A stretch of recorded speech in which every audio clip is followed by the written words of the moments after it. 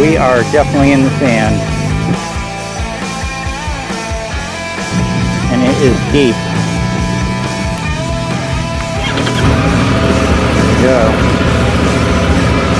There we go.